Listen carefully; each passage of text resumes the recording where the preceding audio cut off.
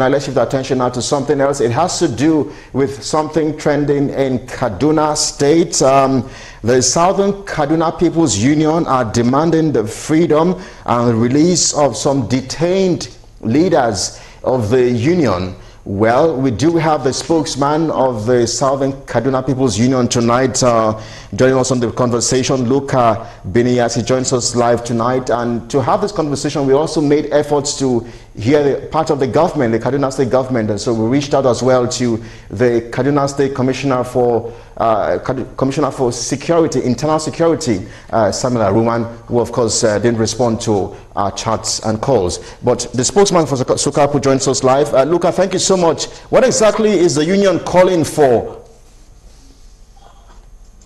Uh, well, um, we are calling for the immediate release of um, some of our members who are natives of Atiap Chiefdom in Zangon local government um, to be released or they should be uh, taken to court so that they, they get bail because they were um, tricked into a meeting, literally tricked into a meeting um, with officers, military officers of Operation Safe Haven who have their headquarters close to Kafanchan. Um, they were thinking that they were coming um, to hear or to give suggestions to the military on how to um, cop the incessant um, daily and nightly invasion of Atiap uh, uh, land, which started uh, in July last year, um, just to be rounded up like uh, common criminals and uh, detained by the army and um, brutalized for some days before they were now transferred to the police, who did the same thing in Kafanchan and then transferred them to Kaduna. Um, among them is a very elderly uh, person, Elder Wajela, who is 85. In fact, as said yesterday, he was so ill that he had to be rushed to the hospital. And um, there is tension in, uh, in Atiablan now, because if anything happens to that highly respectable elder, um, I don't think it's going to be the interest of um, uh, anybody. So we are saying that. Look, look, look help us help us understand um, has the, the, the, state police command put out any statement whatsoever in response to your demands? Or has the police also put out any statement in response to why they were arrested or why they are being detained? No, it will look like, in fact, they are not the only ones that are being kept. There are, there are three others who had been under um, police custody um, it will look like they are keeping them quiet, hiding them, no statement whatsoever, no public statement has been made. Mm. Hello? Well, such a, a sad development there. Uh, yes. Maybe you can also confirm for us just, just how long have these leaders uh, uh, of the union been in detention? And of course, um, uh, the question also to ask is um, um, where exactly did this uh, play out? Um, the first batch of our leaders, um, Ayu, Ayuba uh, Bungon, was taken about one month ago.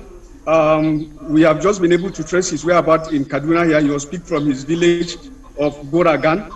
We just uh, got to know his whereabouts um, recently in Kaduna here. Then the other batch of 17 uh, leaders were picked on the 31st of March um, and, and, taken to the army camp in Kafanchan and later transferred to Kaduna. So they are now with the Kaduna State Police Command, who have not said anything at all about whether they are with them or not.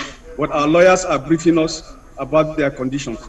And we are asking that they should be released according to the law or they should be formally charged as the law requires. This is the kind of injustice we have been facing. The people that are carrying out these invasions, which are people have always identified as the Fulanis, none of their leaders have ever been invited, even for common interrogation. But behold, now that accusation of the killings of cows have surfaced, our leaders, including very infirm one, who obviously would have never even been able to, you know, walk a kilometer, we are tricked to come into a meeting and arrested. And they have always said, look, they have no hand in this. We even have our that did this thing actually happen? Because these are some of the trump up uh, charges against leaders of our community, and it's not only the people that have. All right, because we are, we, are, we are, pressed for time, uh, Luka, maybe in 60 seconds or less, I'll need you to respond to this question very quickly. Uh, Kaduna State has been uh, subjected to a lot of unrest in very recent times, kidnappings, banditry, violence. What is the state of things in the state at the moment? In 60 seconds or less, please. Well, in, in, in southern part of Kaduna State, um, there's not nothing has changed. The invasions, the killings, especially in Kajuru and uh, and uh, is getting worse by the day. Right now, as I speak, we have over 100 communities that have been captured by Fulani herdsmen and taken over. The government has not said anything, have not given any relief materials to the over 50,000 IDPs that uh, are roaming about. The security situation is not getting any better at all. Mm. Well, look, I would like to thank you so much. Uh, we'll have to leave it there because we are absolutely pressed for time. The spokesman of the Southern Kaduna People's Union, Luka Biniyat, live for us in Kaduna State. Thank you so much for agreeing to speak with Galaxy TV. It's my pleasure. Thank you very much.